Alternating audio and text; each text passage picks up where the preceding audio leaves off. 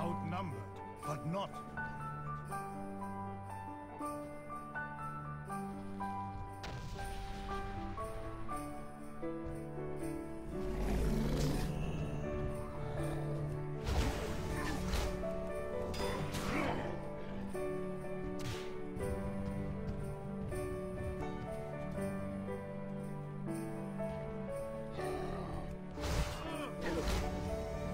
we meet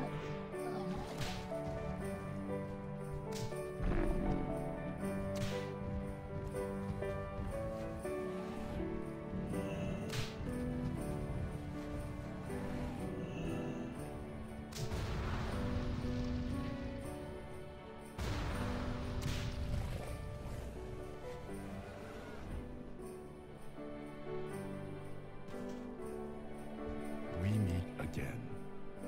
Be well.